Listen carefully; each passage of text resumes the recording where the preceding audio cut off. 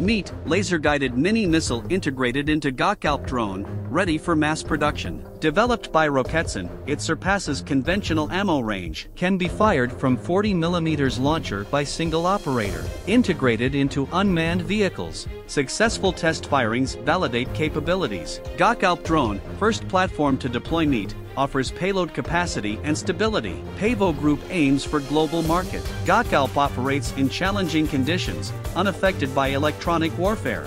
Detailed information on my channel.